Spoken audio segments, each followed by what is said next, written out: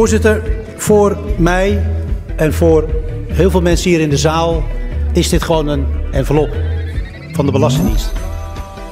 Maar er zijn heel veel ouders die als ze dit envelopje zien, is dat ze echt het angstzweet uitbreekt. Is dat ze hartkloppingen krijgen en even moeten gaan zitten alvorens ze hem openmaken. Omdat dat de dienst is die hun leven echt onmogelijk heeft gemaakt.